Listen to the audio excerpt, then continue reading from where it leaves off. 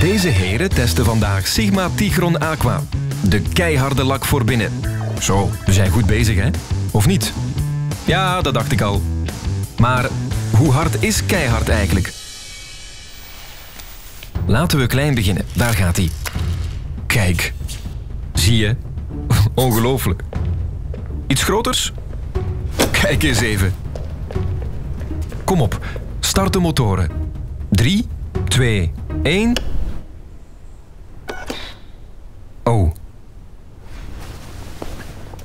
Ehm.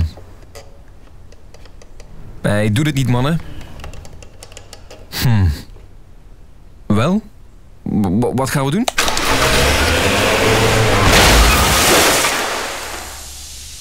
Oei. Sigma Tigron Aqua.